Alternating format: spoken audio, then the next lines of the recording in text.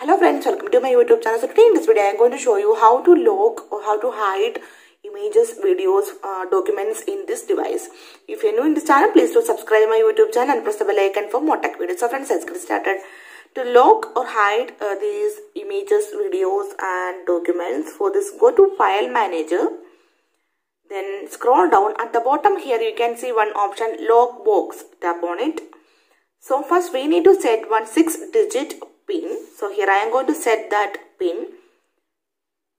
Tap on next. Now again confirm that pin. Tap on confirm. Okay. Now go back. If you want to hide or lock your images then go to images. Then select the image that you want to lock or hide. Okay. So here I am going to select uh, these photos.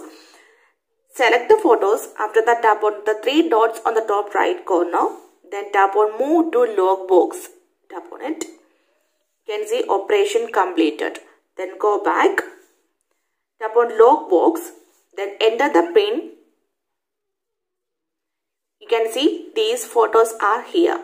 The same way you can hide the videos also.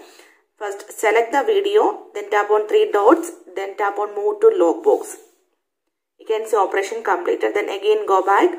Go to lock box. Enter the pin so here you can see that video file is here. So in this way you can lock or hide images, uh, videos, documents in this device. So hope you guys enjoy this video. If you like this one please like and share and don't forget to subscribe the channel for more updates. Thank you for watching. Thank you. Bye bye.